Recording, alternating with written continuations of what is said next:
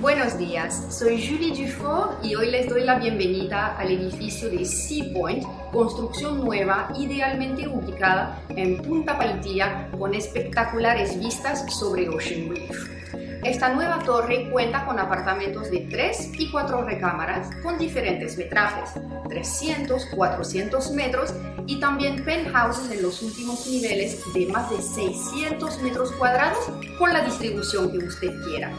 Hoy nos encontramos en el apartamento modelo diseñado por Joana Agudo. Espero que disfruten la visita.